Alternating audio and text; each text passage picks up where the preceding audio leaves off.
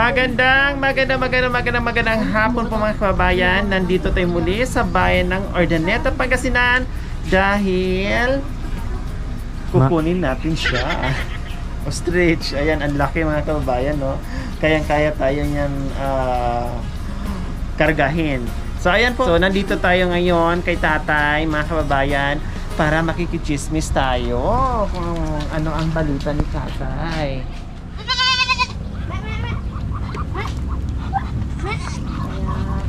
Hi, hello, good afternoon po, tatay. Pasensya na po sa disturb po.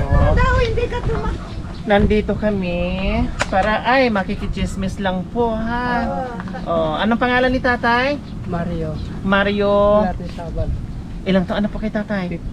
50. 50 na po kayo. Hindi, 60. mga 60 plus na. Kay ading niya si, yung kapatid ko nga pinuntahan niyo, pinuntahan niya, eh 61 yun. So 60 plus na po kayo tatay. Oh, Oh, ilan po ang anak nyo? dalawa lang. Dalawa. Nasaan po si Mrs.? Wala na. Wala na. Patay na. Oo. Oh, matagal na na panahon na biyudo po kayo tatay. Oo, Nasaan po yung mga anak nyo? Wala na, nag-asawa na. Nag-asawa na, so kayo na lang po dyan ang Oo, nakatira. oo. So ano po ngayon ang hanap buhay nyo? Wala. Kung minsan, sa bukid, kung minsan dito lang. Ah, sa inyo po yung mga pato na yan, Hindi, kambing? ah, hindi po. Hmm. Sa pamangkin ko yan. Sa mga pamangkin nyo. Kung minsan, kung wala ako, eh, kung may ulam sila, eh yun, bibigyan ako. Huwag minsan, kailangan dalasan nyo po. Ha, para may pangulam. Joke lang po. Pinapatawa ko lang po kaya Tatay Mario. Ha. Tapos, sa bukid, minsan ang trabaho nyo. Oo. O kumusta naman ano ang kinain nyo kaninang tanghalian nga eh? Eh, gulay. Gulay. Kung minsan, pohol. O, masarap po yung gulay, tatay. Masustansya po yun. Lalo na nagtatrabaho po kayo sa bukid. No? oh. Bakit hindi nyo, ah, bakit ayaw nyo nang tumira doon sa mga, isa sa mga anak nyo? Kasi dito ang anak ko, eh, dito kami, eh, dito ako nakakon. Nagtatrabaho. Nagtatrabaho. Bakit nasaan po ba sila? Nasa malayong lugar? Malayo. Nasa Manila? Sa Bagyo. Ah, nasa Baguio po sila. Kalingay. Yung mga ah, anak ko nandun sa Kalinga. Kaya, Buhat noon tatay, yung trabaho niya nasa bukid lang po talaga. Hmm, buti hindi po kinag-asawa muli. hindi na. Kasi ma mahirap ang buhay. Mahirap ang buhay. Ilang taon ka noon nung nabiyudo ka? Ilang taon ka noon? Ah, 45. Ay, bata pa. Ito pa. Pwede pang maikasa yun, 45. Oo, No, kayang-kaya pang ikasa yun. Kaya-kaya pa. Pero, Oo. Pero, walang bala. walang bala, walang budget. Baog pala yun, no? Walang bala. ang iniisip nyo, tatay, mahirap ang buhay pag mag-asawa uli. Baka magkaanak kayo, eh, Ayan, wala- na naman ang obligasyon. Oo. Diba? At kawawa na naman ang mga bata, hindi Mm. mabigyan ng magandang Mm, kinabukasan. buhay. Yun, tama. Ayan si tatay, no? Biro niya si tatay. Hindi na siya nag-asawa muli dahil iniisip din niya paano daw kinabukasan na magiging anak niya. Tama yun. Tutal na pagdaanan naman ni tatay mag may asawa, may mga anak. So ano pa ba ang hanap? So ayan, no, mga kababayan, natutuwa din ako ni tatay, lalaki, pero napakalinis ng paligid ng bahay niya.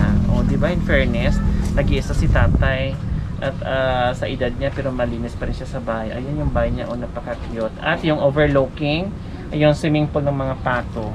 Naliligo din kayo dyan, tatay? Hindi. Ah, hindi. May garipo naman dyan. Love, love. Wow, ang ganda ng suot nyo, preskong presko, bagong mukhang ah, tinanggalan nyo ng manggas.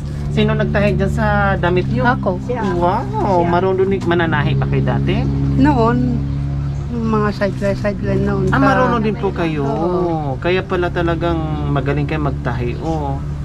Oh, di ba? O marami pang bigas si tatay diyan. Siyempre nagtatrabaho sa bukid. Pag bukid, maraming palay, mais. Kundi marami kang pagkain diyan na galing sa bukid. Nan sa loob, wala. Wala.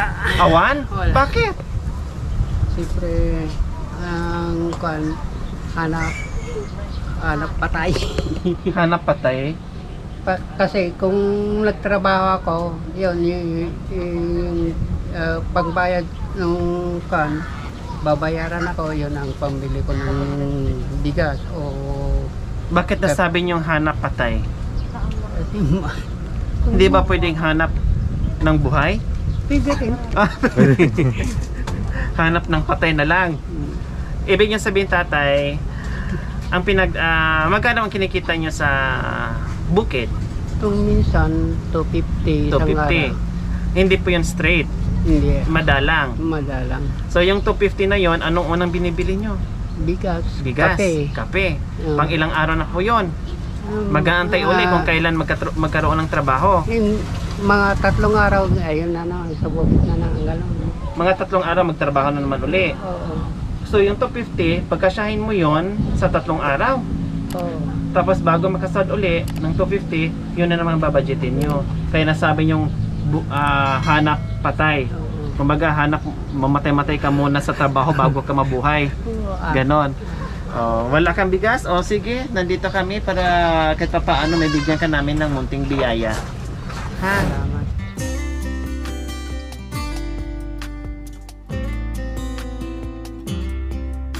Ito, meron kang isang sakong bigas at saka isang itlog, ah, isang tray na itlog and then nandito yung mga assorted groceries nyo tatay ha.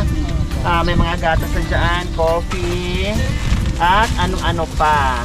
Oh, nandiyan na po yan, tatay Mario.